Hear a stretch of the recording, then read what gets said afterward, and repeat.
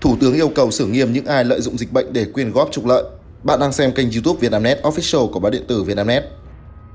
Ngày 7 tháng 9, Thủ tướng Phạm Minh Chính có công điện đến các bộ, cơ quan ngang bộ, cơ quan thuộc chính phủ, Ủy ban nhân dân các tỉnh, thành phố trực thuộc trung ương về đảm bảo an ninh trật tự, phòng chống cháy nổ và xử lý vi phạm trong phòng chống dịch COVID-19. Công điện nêu rõ, để tăng cường công tác bảo đảm an ninh trật tự, phòng chống cháy nổ và xử lý vi phạm trong phòng chống dịch COVID-19, Thủ tướng Chính phủ yêu cầu các bộ, cơ quan ngang bộ, cơ quan thuộc chính phủ và Ủy ban nhân dân các tỉnh, thành phố trực thuộc trung ương thực hiện ngay một số nhiệm vụ. Cụ thể, quán triệt thực hiện nghiêm các văn bản chỉ đạo của Đảng, Nhà nước, Chính phủ, Thủ tướng Chính phủ, Ban chỉ đạo quốc gia về phòng chống dịch COVID-19 về đảm bảo an ninh, trật tự an toàn xã hội, phòng chống tội phạm, phòng chống cháy nổ và phòng chống dịch COVID-19. Thủ tướng yêu cầu Bộ Công an chỉ đạo công an các đơn vị, địa phương đẩy mạnh thực hiện các kế hoạch, phương án bảo đảm an ninh trật tự trong thời gian dịch bệnh, bảo đảm chủ động trong mọi tình huống, tăng cường phòng ngừa, đấu tranh với các loại tội phạm, tập trung chấn áp tội phạm có tổ chức liên quan đến tín dụng đen, tội phạm chống người thi hành công vụ, nhất là chống lại các lực lượng chức năng tham gia phòng chống dịch COVID-19. Đồng thời, Thủ tướng yêu cầu xử lý nghiêm các đối tượng lợi dụng chính sách phòng chống dịch COVID-19 và việc quyên góp, ủng hộ của nhân dân để trục lợi,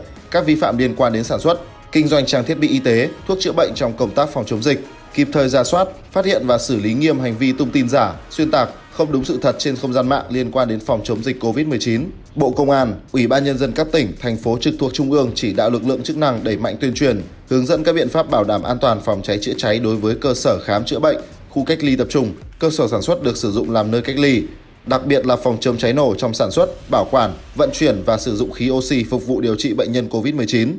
Những thông tin mới nhất về tình hình dịch bệnh COVID-19 sẽ liên tục được Vietnamnet cập nhật trong các bản tin sau.